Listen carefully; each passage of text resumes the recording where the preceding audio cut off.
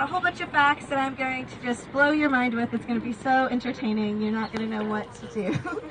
um, but yeah, we're going to head over to this bridge. We'll see a couple of animals. Uh, it's really laid back. Feel free to talk amongst yourselves. I've got the microphone, so I'm the loudest one, so I don't care if you're talking. Uh, if you've got questions, raise your hand or just walk up to the front and ask me. Uh, we love questions. Oh, one in the back already? Or are you just saying hey? These are my friends in the back. I like them. hey. All right. Cool. Well, yeah, we're all glad to have y'all here. Uh, do I have a lot of people in town visiting this uh, today, or just about everybody? Okay. Well, if you're from Austin and you've never seen the bats before, we're glad you finally decided to come see them. And yeah, is this everyone's first time to see the bats, or is it? Yes. All right. Cool. Well, yeah, y'all are in for a treat. Uh, it's kind of early in the bat season.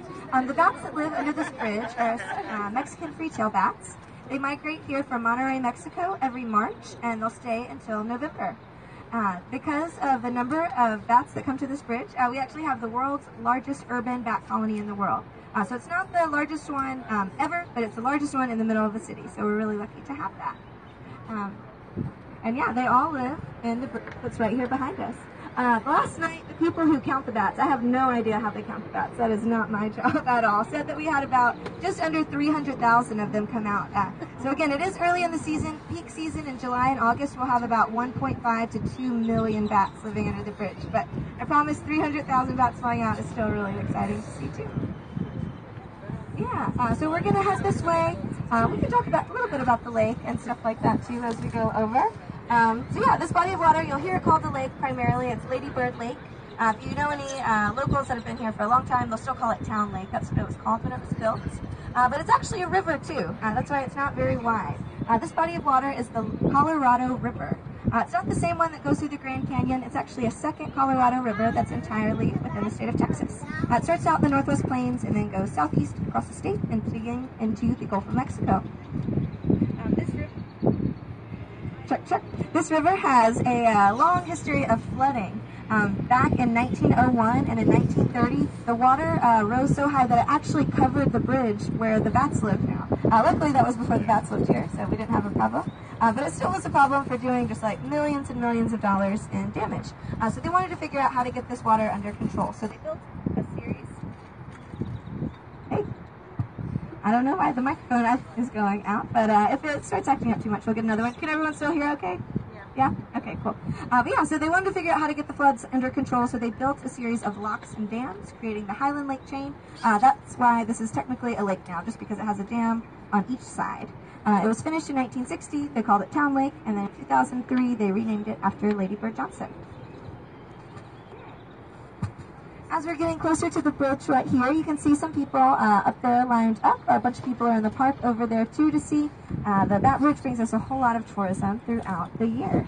Uh, this is the name of this bridge. Uh, the full name is the Ann W. Richards Congress Avenue Bat Bridge. Uh, it was named after my favorite Texas governor. And if you like King of the Hill, uh, there's an episode where they come to Austin and Bill actually starts dating Governor Ann Richards. So definitely one of my favorite episodes. You can see the bridge in that one as well.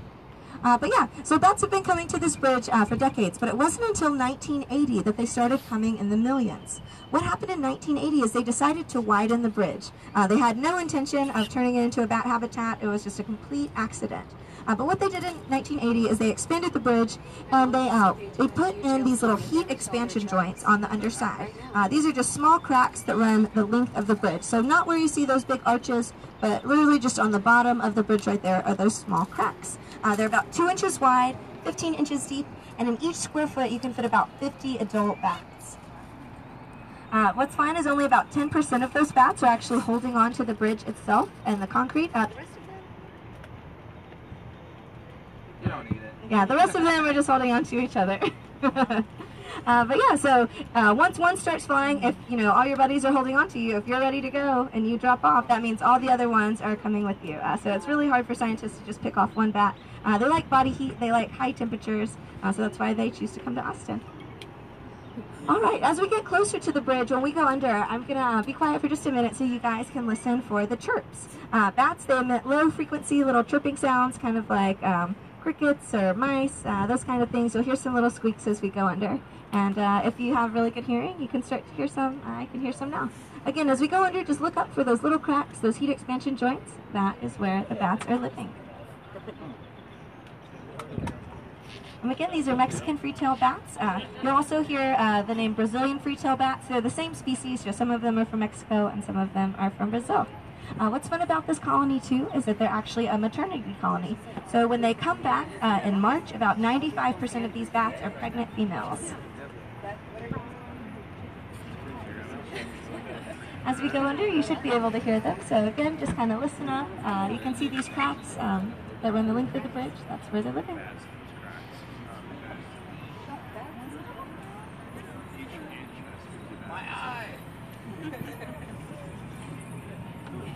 Yep, not quite time to put your hoodies on just yet. Once they start flying, though, it might not be a bad idea. Yep, depending on which way the wind is blowing, you can always catch a big whiff of guano sometimes too. A fancy word for it.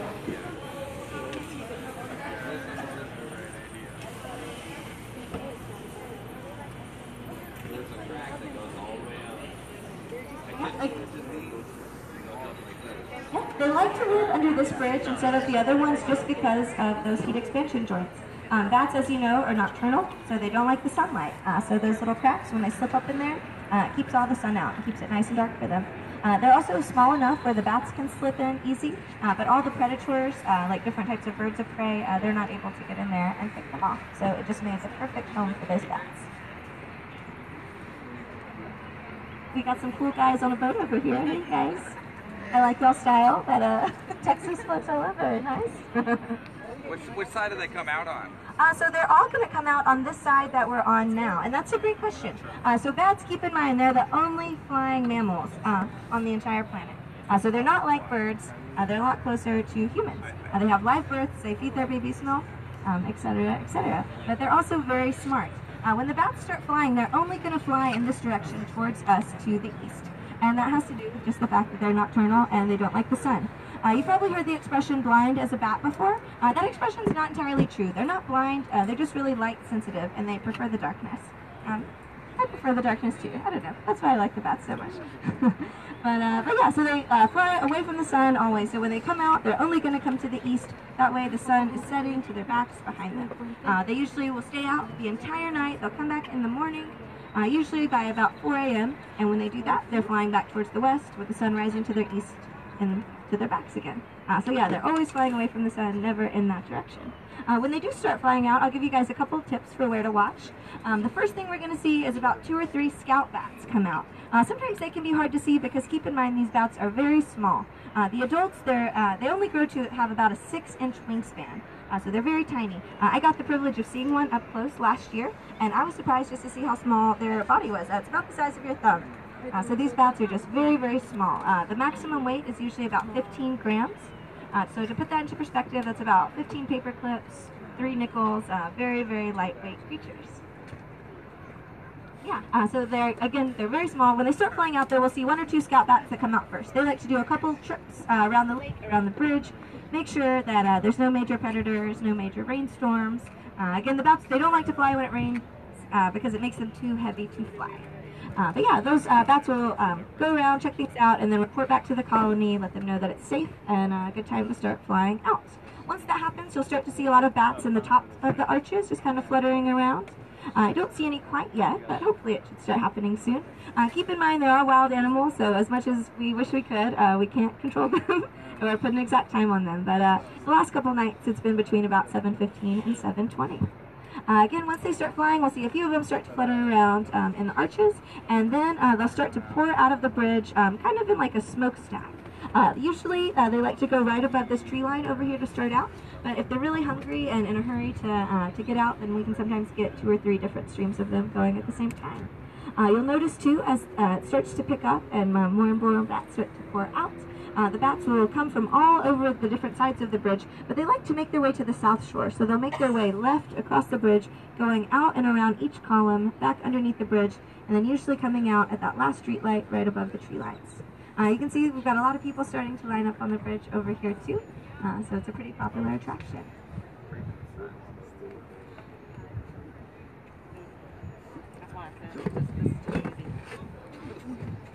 Uh, for those, those of you that can see, we've got like a tree over here that's kind of got some white splotches on the bottom. Uh, usually this is a roost for a bunch of egrets. Um, egrets are these big white fishing birds that live out on the lake. Uh, hopefully within the next 30 minutes or so we'll start to see more of them um, starting to congregate over here.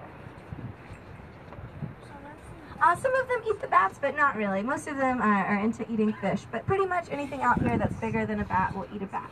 Uh, you'll see lots of birds of prey, different types of like nighthawks, um, different types of owls, uh, even like the grackles and pigeons will go for bats. Uh, so yeah, pretty much anything that's bigger than one uh, will eat one. Uh, it's kind of exciting when the hawks come. I know it's sad, but don't worry, there's like a million and a half bats, so if one gets picked off, they're gonna be they're gonna do okay. Uh, but yeah, it's kind of it's kind of like a National Geographic moment when one swoops in and uh, grabs one, adds a little bit of drama to the Have the you seen it? Oh yeah, I've seen it a bunch of times.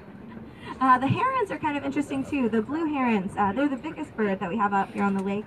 Uh, the male great blue herons can get a wingspan of up to six feet, and uh, they're the only ones that we've seen that's smart enough to just like perch up in the top of the tree and then just snatch them off. All the other ones, it'll be kind of like an air battle.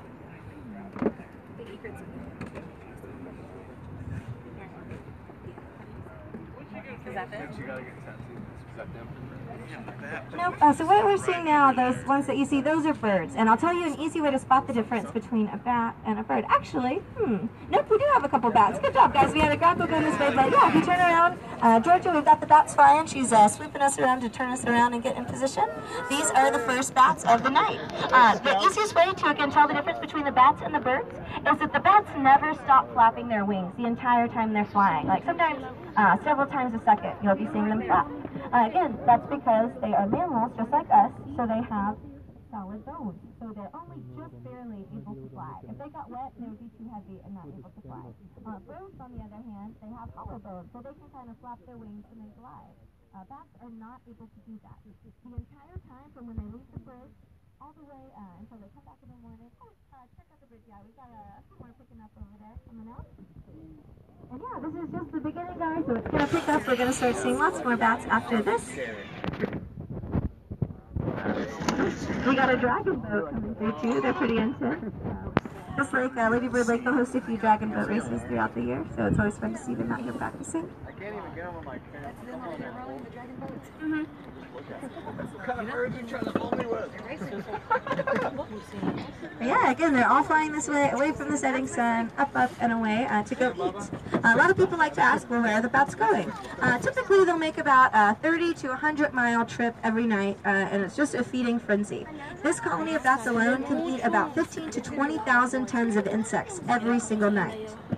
Uh, so it does a lot, a lot of good for the farmers. Uh, it saves the U.S. about a billion dollars in pesticides every year, so it's fantastic to have bats in your community.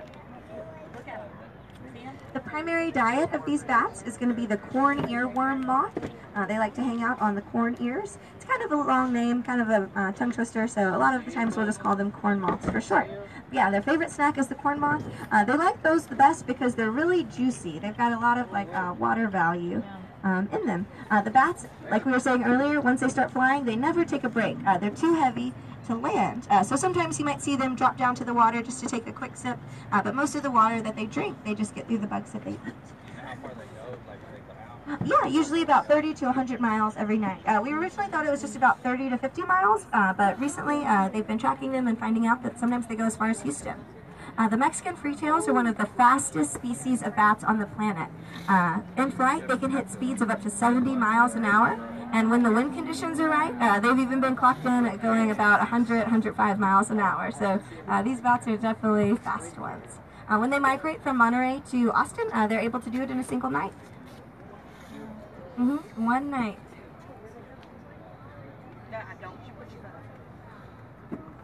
You can see uh, they just keep pouring out. Uh, the bats, sometimes people like to ask how long it takes them to come out. Uh, it's honestly like four or five hours. Don't worry, we're not going to be out here the whole time to see every last bat. Uh, but the most exciting part is usually the first 20, 30 minutes. Uh, sometimes they take little breaks. You'll see gaps, but then you'll see another uh, another column start to come out too.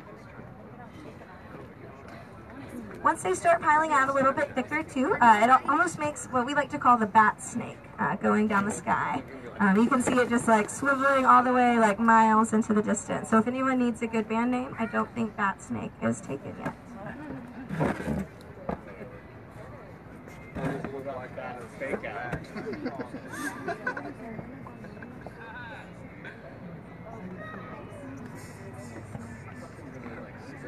I might have said this already, but again, it's uh, kind of amazing that they don't uh, ever stop flapping their wings the entire time that they're out uh, this whole evening. From the time they leave to the time they come back, uh, they will never land, and that's because they're just too heavy uh, to take off from the ground. Uh, so if a bat ever falls, like sometimes when the baby bats are learning how to fly, uh, they'll fall into the water. Uh, bats are surprisingly good swimmers and really good climbers as well. So a bat, a baby bat, if it doesn't make it quite quite flying the first time, it can usually land in the water, swim over to the columns or the shore, climb back up, and try it again. Uh, they do have to, again, avoid some predators, though. Uh, like we were saying earlier, pretty much everything that's bigger than a bat will eat a bat. Uh, so the fish and turtles have been known to go after a bat every once in a while, too. Oh, yeah, here we go. Stuff to pick up. We've got some, some good, uh, good emergencies over here. Hey, Lori. Yes. Um, I'm gonna stay a little further out from the bridge for now because I think it looks cooler this way. But just if there's anyone in the audience that is like, why aren't we sitting right under the bridge? I will get there. I just think it looks prettier out oh, here. Oh, yeah, right this is the bat snake we were talking about, you guys. See it kind of just swarming across the sky? That ominous voice you just heard was our lovely Captain Georgia downstairs. I like when they chime in. I think it, it adds to it. Yeah, just just I don't want anyone thinking that we're in a bad spot since all the other boats are up there. Oh no, we've got a better spot than all the other I think boats. this is better, but we'll go over there eventually. Yeah, this we've got the skyline, we've got the bridge, we've got the bat. Great, Georgia. Keep up the good work. Does anybody have any questions so far? I've just been going on and on. If you've got questions, uh, feel free. Um, if you're not shy, just walk up here. You can ask me in the microphone. If you are shy, just raise your hand. I can come to you. No, right around 130. Uh, another fun fact, since I don't see any questions, um, these bats, because they come out in such dense clusters, um, uh, when they first started coming in the 80s, they were really throwing the weathermen for a loop. Uh, every night on the Doppler radar, they were seeing these big clouds, which looked like storm clouds coming out of the bridge, and they were trying to figure out what it was. Uh, it didn't take them very long to realize that those are it's not rain; it's just clouds of bats. Uh, so they were able to use their findings and turn that over to BCI and some of the other uh, bat conservation organizations in order to help track the bats and let us know uh, where they're going. Yeah, as you can see, it's just thousands and thousands of them pouring out every single second. Uh, if you look way out into the sky, you can even see them in the distance. If you look far enough, you can just see them miles and miles away. Turned out to be a good day to Oh right? yeah, yeah, great day for Did they it. ever come out any like any denser or anything like Yeah, that? so the peak, uh, the question was, do they come out any denser? The peak season is going to be July, August, and September. Uh, in the hot, really dry months, that's the best time for them to go hunting. That's when they're the hungriest and the climates are perfect. That's also what's, uh, when the babies are born and when the babies start flying. Uh, so that makes, uh, it kind of just doubles the number of bats in the bridge. And uh, yeah, it's always really exciting to see. Uh, so if you get the chance, come back and check it out in July, August, September. Uh, this is a great night to see them. Uh, we, we do have uh, some good bat snakes going on. But uh, yeah, uh, in the summer it'll be like three or four of these all going at once. So they're yeah, three or four spread out. Uh, so I'll talk about the babies a little bit more too. Again, this is a maternal colony, so about 95% of these bats are pregnant females. Uh, bats again are mammals, so they give live births. They feed their babies milk, just like we do. Uh, bat bat babies are called pups, uh, so that's kind of cute. And uh, each each mother is only able to have one pup per year, and that is just based on how much room there is. Uh, so no twins, no triplets, no litters, uh, only enough for one baby per year. And uh, again, that's just because they're so small. The adult bats are uh, 15 grams, uh, so not very, not very heavy. And again, about the size of your thumb. Uh, the babies, they come out at about four to five grams, so about a third of the mother's body weight. To put that into perspective, that would be like a 150 pound woman giving birth to a 50 pound baby. Uh, so that is quite a lot of work. So one baby per year is all that they can do. Uh, once the babies are born, it usually happens in late May, early June. Uh, they'll be weaned off uh, their mothers after about a month, and then they'll be able to start flying and hunting on their own. When the babies are born, it's kind of an exciting uh, thing too. Um, I've never seen it, but I've heard it described a bunch of times. Uh, bats, you know, they like to hang upside down by their toes. Uh, again, that's just um, something that has to do with uh, how their um, hands work. They're kind of bat hands are the opposite of ours. Like when our hands are relaxed, they're open. And uh, if we make a fist, then that's when we're like tightening them. Bats are the opposite. Their their hands are always in a fist, and uh, to relax or to kind of tighten them, they open them. Like, does that make sense? I feel like I'm kind of getting my words shuffled, but yeah, it's the opposite of how our hands are. So they're always in the closed position. Um, but yeah, so that's they always like to be under bridges, in caves, upside down because of how heavy they are. They need about 10 feet of uh, clearance to drop down and get their momentum going. Um, and yeah, bats they're always upside down by their toes except when they're giving birth. When they can't see them as well just because of the light angle, or are they still coming out thick like they were? Um, it's kind of a pause right now, but we've got a couple more. Um, bats, they're just like humans. Uh, some people like to get up early, get the day started, and get out in a hurry. Other ones, they like to sleep late. Maybe they had, you know, a lot to eat last night, so they're not in that much of a hurry. Uh, so they're going to kind of hang out inside for a minute. Yeah, when the bats are born, uh, the mothers will actually turn right side up and hang on by their thumbs so that gravity can help in that birthing process. Uh, the umbilical cord is actually kind of a safety net slash uh, bungee cord in this scenario too. So uh, if the baby gets away from the mother during the birthing process, that uh, umbilical cord will act like a bungee cord, keep it from falling into the water, and it can uh, climb back up to its mom.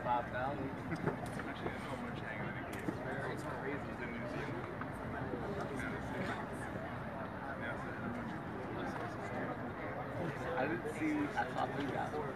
Probably start to pick up a little bit more too, but as we get closer, we can kind of look under and see. Um, again, you'll see some of them kind of going in the arches. That's the easiest spot. Once another, uh, one of those big clusters of bats starts to emerge, uh, then you'll see them uh, going under and then out and around each column. But we'll give it a second and see if we uh, see some more coming out. Yeah,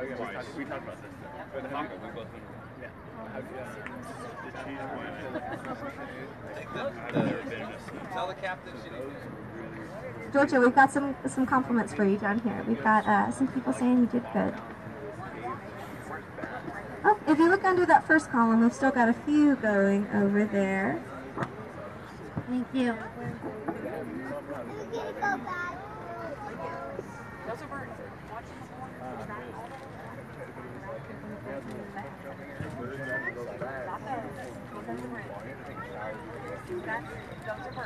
These ones that you see flying above us, again, they're not bats. Those ones are birds. Those are grackles. Uh, if you spend much time in Austin, you really can't avoid them. If you're leaving the HEB parking lot, it kind of looks like a scene from Alfred Hitchcock's Birds, because there's just usually about 10,000 of them all hanging out on the power lines.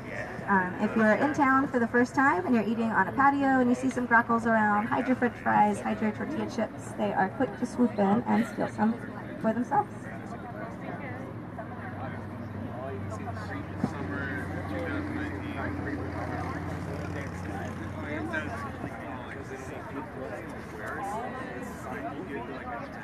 And it'd be dangerous to be underneath the bridge. Just another side.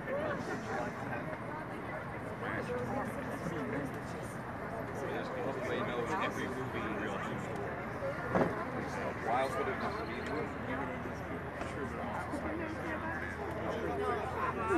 Well, the bats are kind of pause right now. We'll keep an eye out and see if there's another emergence, but we can kind of look around at some other things too. See what kind of animals we have. If you look over here to you guys left, um, you'll see a bunch of black ducks swimming around over there. Uh, those are one of my favorite uh, birds that we have out here on the lake. Those are called the American coots, spelled C-O-O-T-S. And uh, those birds are known for just not being able to fly very well. Uh, instead of uh, flying um, really far, uh, they'll just kind of spread their wings and run across the surface of the water, kind of like a Jesus lizard. Uh, it's pretty cute uh, when that happens. If you look in any of the bird books of Texas, that's how it always shows them. It's almost like a Heisman pose, but with ducks.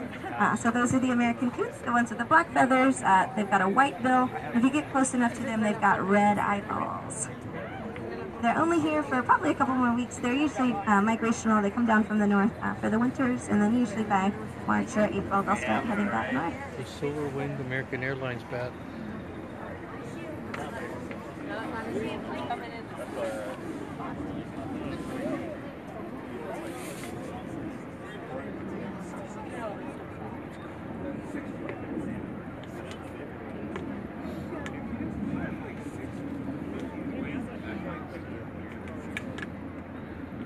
Look, it's a UFO. I guarantee pretty much at this point, every 10 years, What is that? That black thing. Is it a bird? Uh, when the bats first started coming to the bridge, uh, the Huh? people of Austin were actually really freaked out back in the 1980s. Uh, there was about a million and a half bats in the bridge, and only uh, just under a million people here. So they were freaking out because there's more bats than people. Uh, so originally they wanted to exterminate them and have them removed.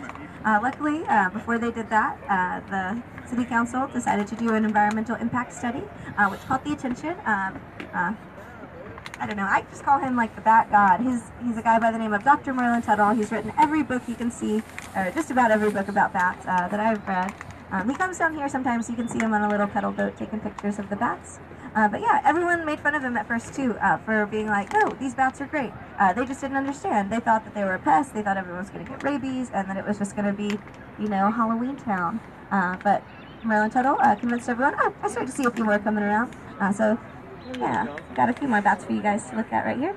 But yeah, uh, they were all making fun of Merlin Tuttle, saying like, "Who is this weird guy defending the bats? Like, we want them out of here." But he was able to found uh, Bat Conservation International, um, which is a, a society that helps protect the bats and just um, educate people on how good they are. Uh, not only are they just a great natural pesticide, but they're beautiful to watch. They eat all the unwanted bugs. Uh, they bring us a lot of tourism. Uh, so he quickly went from being someone who they mocked in the newspapers to someone who is considered a hero around the lake.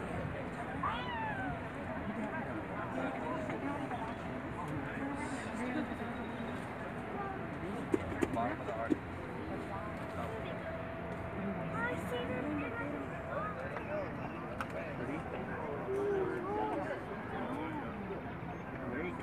Yep, So we've got our, our bat snake going again, and then uh, those ones that you see flying by, those are actually some of snakes. Oh, great! So we've got lots of hungry bats now. This is always exciting when we have two of them merging together to form form another one. I'm glad that we stuck around a little bit.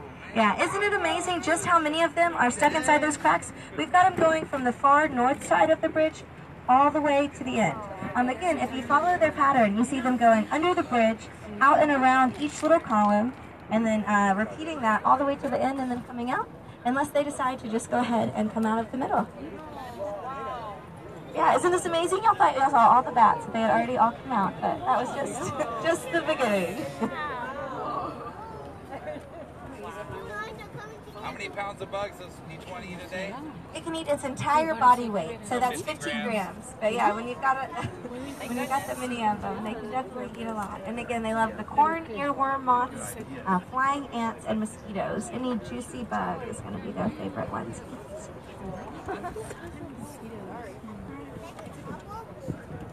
I don't know if they eat cockroaches. That is a good question. I hope they do. That would be great if they did.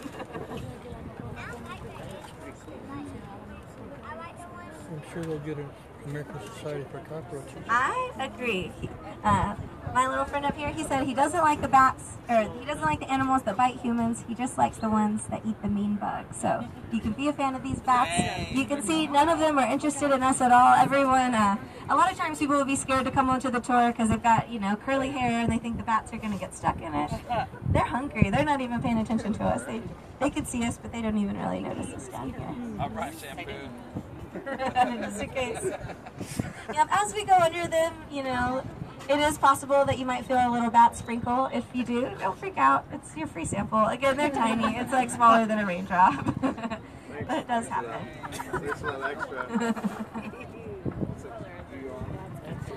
Usually, I don't know. I so I think I've only been peed on. I don't think I've gotten guano on me. But it's like clear. It's just a raindrop.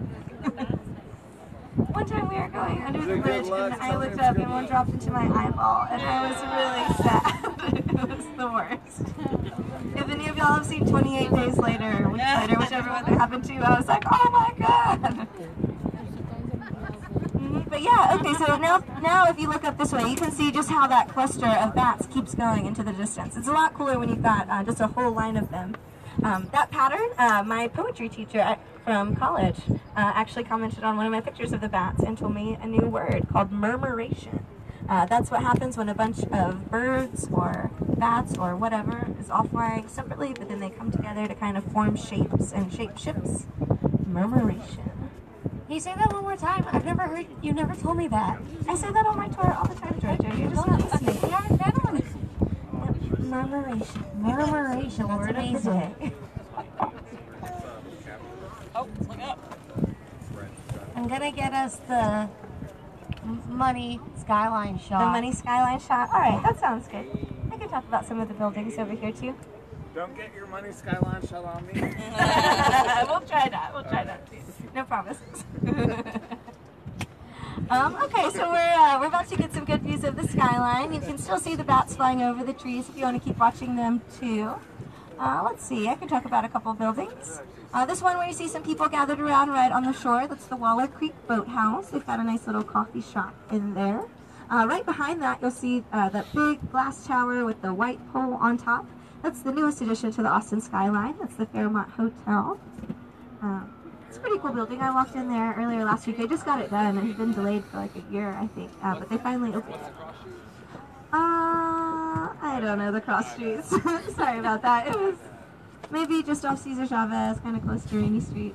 You'll find it. Just look up the Fairmont. Just follow the skyline. Follow your heart. You'll get there. Um, yeah, once we turn around a little bit more, I'll show you this really cool statue. We can't really see it from here because this uh, tree by the boathouse is blocking it off. You can kind of see the top of it, some of that silver, but we'll get back to that in a second. Oh, we got some more bats going overhead, so if you've got your hoodie, you're welcome to put it on, but, you know, it's whatever. There's some more of those American coots. You can get a little bit closer look at them over there with their white bills. Uh, if you've got really good eyes, you can look into their red eyeballs, but not for too long. Uh, some of those big birds that you see flying that way, they're kind of right behind the tree line. Uh, we'll see if we see some more going by. Oh, they're cormorants. Let's see if I see any over there. It looks like we've got some turtles too. Uh, if you look at uh, kind of where that little dam is over there, um, uh, that little spillway, there's a lot of turtles hanging out on uh, the little lip right there. Usually there's a bunch of uh, birds called cormorants, but it's about their time to start migrating on. Uh, those white birds that you see right next to those two, those are the egrets that we were talking about earlier. Uh, the egrets are one of my favorite birds just because they're really pretty. Uh, but you can see them kind of roosting in the tree. Uh, usually they'd all be in that tree that we showed you earlier, but it's kind of funny. Uh, I asked last year, it's like, why did they move from this side of the lake to the other?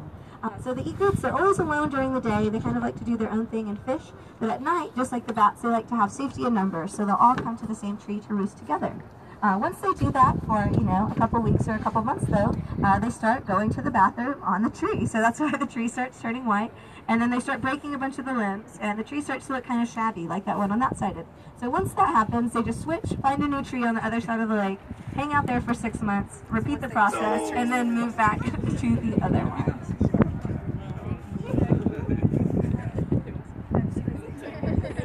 Ooh, the sunset is doing some cool things to the clouds over here too. We have kind of a, a cool gradient. I was about to see, like, did I take my sunglasses off? The other day I was like, the sunset is so pretty, oh my god, these peaks. And then I was like, oh, these are just, that's just me, sorry.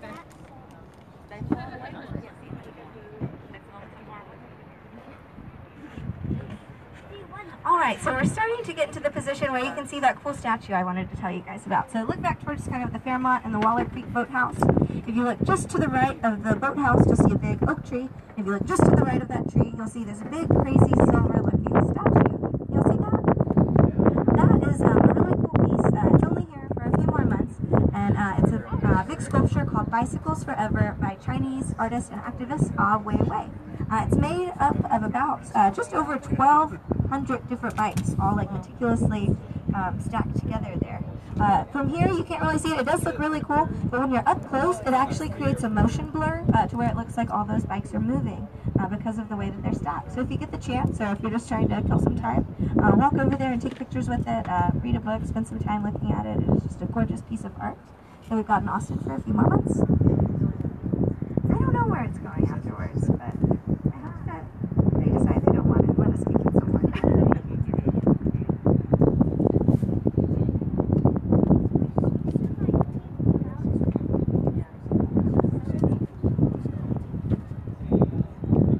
Up ahead, you can kind of see where the hike and bike trail on the side starts to go up over the river. Uh, this is a new, uh, the newest addition to our hike and bike trail uh, on the Lakeshore Boardwalk. Uh, they just finished it maybe like three or four years ago, and it's really nice because uh, if you're biking, instead of being on the gravel, you have kind of a paved road, and it's nice because it's built out over the water, so you can still get those gorgeous skyline views. Um, if you like to pay attention to the little details, uh, like I do, uh, when you're walking down there,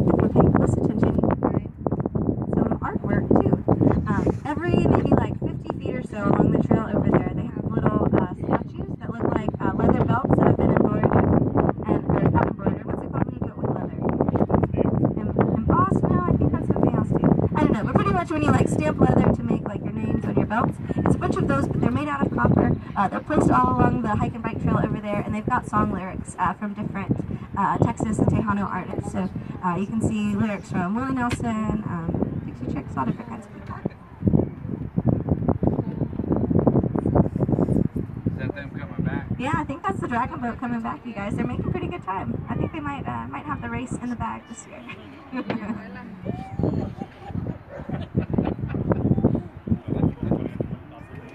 so of y'all are the betting type, we'll have to ask. Uh, we'll have to ask if they're team neighbors.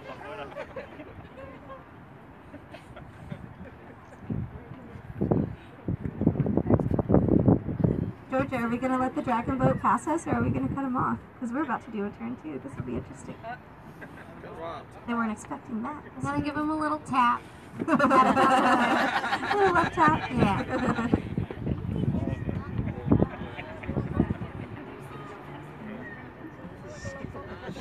trying to intimidate them to get them to go even faster. Oh, there we go. It's just tough love, you guys. We just want to Oh, you see the trees up there on the shoulder? That's cool.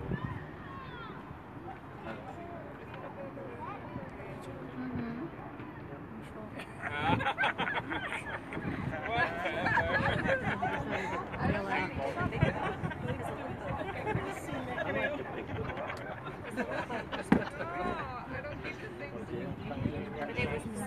All right. So for those of you who wanted to take a picture of the skyline, this is definitely the best view you're going to get. Uh, feel free to take your cameras out. You can move around if you need. Uh, if you need a group photo too, ask the people around you or me. Don't mind taking those photos for you. Uh, the tallest building you see in the skyline over there, the one that looks like a big flash drive in the sky, is the Austonian. Uh, it's currently the tallest building in Austin, uh, coming in at just under 600 feet, or maybe it's just under 700. 694. Maybe Georgia knows. Georgia, feel free to chime in. I don't. uh, it beat out the 360 tower, which is, if you look into the skyline, the one with the little needle points back there.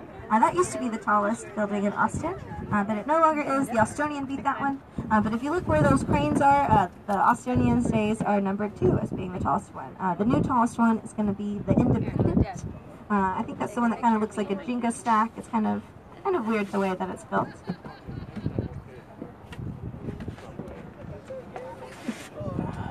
I was calling you like to get the across the bay. You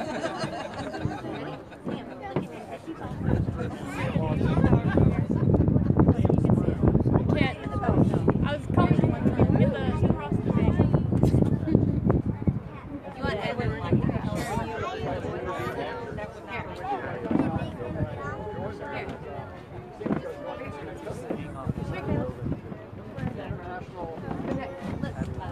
Come over here. Ready? Dragon Boaters, y'all are looking good. Keep up the good work. We're so proud of you. Look, look at Daddy. Uh, there's another cool building in the skyline that I like to talk about too. Uh, can y'all see the one that kind of has the triangular, like spiky roof with those uh, white circles on it? That is the Frost Bank Tower. And uh, it's really interesting because it kind of looks like a big owl uh, from this vehicle. That's got a fun story to go along with it.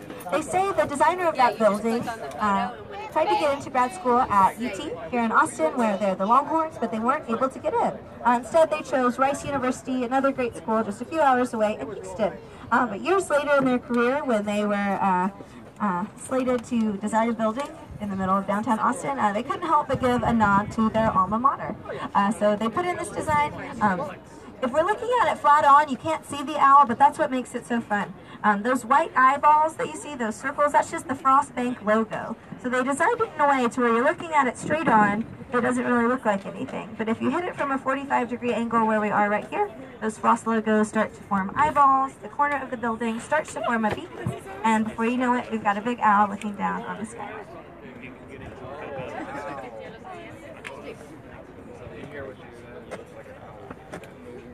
Oh, I finally, I finally can see it. Mm-hmm.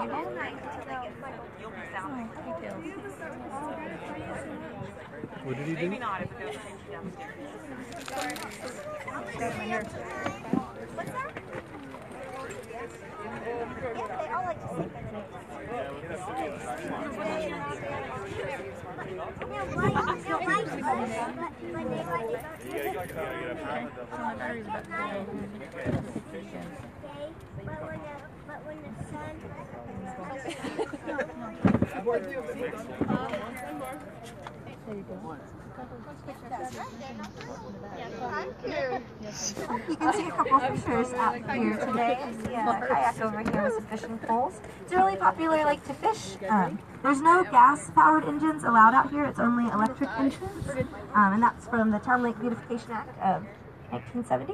Um, so what that did was it banned swimming in the lake. It banned gas-powered engines, and uh, it just cleaned up the lake and established the hike and bike trail. Um, it made it really good though for people who like to kayak fish uh, because now they can uh, catch really big fish. Uh, some of the kinds of fish you'll see out here are largemouth bass, buffalo carp, um, catfish, sunfish, perch, uh, alligator gars every once in a while.